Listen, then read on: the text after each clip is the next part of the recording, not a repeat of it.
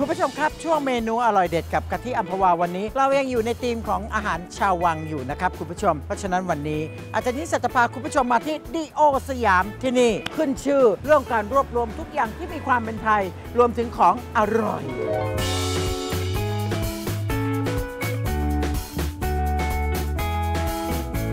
ที่นี่ขนมอร่อยเยอ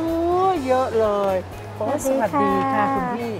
อ้ยขนมน่าทานจังเลยสีสันสดใสไปหมดเลยนะคะ คุณพี่ชื่ออะไรคะ สุมาลีค่ะ คุณสุมาลีเหรอคะ คุณสุมาลีช่วยแนะนำหน่อยสิคะมีอะไรบ้างที่อร่อยอร่อยด้านนี้จะเป็นตะโก้นะคะแล้วประทานโทษทำไมมันมีหลายอย่างจังเลยอันนี้จะเป็นทับทิมกรอบค่ะ ตะโก้หน้าทับทิมกรอบแล้วอันนี้นะคะ อันนี้จะเป็นเปียกปูนดั้งเดิมใช้กากมะพร้าวค่ะนี่อันก็นี้เป็นเปียกปูนใบเตยเบียร์พูนใบเตยค่ะแล้วอันนี้ สาคูอัญชันค่ะ อยากจะลองชิมอะค่ะ ได้ค่ะควรชิมอาจารย์ อย่างอันไหนดีคะเอ่อตะโก้เผือกค่ะ อ๋อตะโก้เผือกค่ะ คือความอร่อยของมันอยู่ตรงไหนคะ เอ่อความอร่อยของเราก็คือเราใช้วัตถุดิบชั้นดี วัตถุดิบดีนะคะ ค่ะ ขาวเป็นเงาสวย โอ้ยกลิ่นหอมอะค่ะ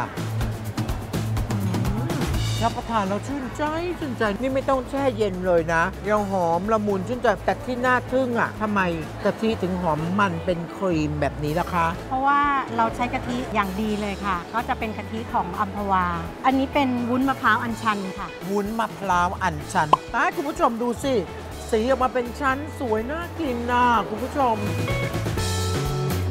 มันเด้งดึงดังจากวุ้นมะพร้าวเหรอคะใช่ค่ะกะทิก็อัมพวาใช่ค่ะกะทิอัมพวาเล่นถามหน่อยสิคะค่ะถ้าสมมติว่าอยากดูวิธีทำอันนี้ได้ไหมได้ค่ะสำหรับอาจารย์ยิ่งศักดิ์ได้เลยค่ะแต่เราขอนิดดูนึงนะค่ะได้เราขอค่ะดูนะได้ได้จ้ะค่ะ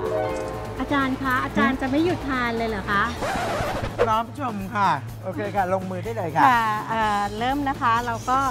ใส่แป้งนะคะ แล้วก็ค่ะใส่กะทิ ของอัมพวานะคะ ใส่แล้วจะหอมหวานมัน คุณดูสีสิคะเนียนขาขาววแบบกะทิแบบเราคั้นเองค่ะเลย มันไม่ข้นหรือใสเกินไปแล้วที่ขาวแบบเนี้ยคือขาวของมะพร้าวตามธรรมชาติ เพราะเขาไม่ได้ใส่สี แล้วกลิ่นที่คุณดมหอมเนี่ยนะคะ มันก็เป็นกลิ่นหอมตามธรรมชาติของเขาเลย เห็นไหมคะ เนื้อเป็นเนื้อเดียวตลอด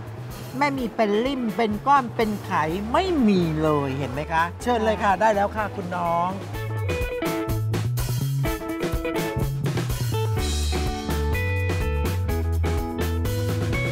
อ๋อต้องกรองก่อนเหรอคะ ต้องกรองอ๋ค่ะอต้องกรองก่อนนะคะ โอ้ยตายแล้วนะคะ ดูคุณผู้ชม เออคนทำเหนื่อยค่ะเย็นต้องลงมาช่วยแทนดูสิคะอะปิดแล้วนะคะ คุณผู้ชมคะลักษณะแบบนี้ได้ไหมเธอได้ไหมอะได้แล้วนะคะอะคุณผู้ชมดูลักษณะที่ใช้ได้อู้ตายกลิ่นหอมกะทิออกมาแบบคั้นเองเคี่ยวเองอะไรอย่างนี้เลยเนาะหยอดเลย โอ้ยตายแล้วเป็นเงาเป็นครีมสวยเลยดูสิแล้วก็แต่งหน้าด้วยเผือกหอมอีกหนึ่งชิ้น โอ้โหดูสิเผือกก็หอมกะทิก็อัมพวา เสร็จแล้วค่ะ กับเมนูตะโก้เผือกนะคะ ลูกค้าติดใจเพราะใช้กะทิอัมพวาค่ะ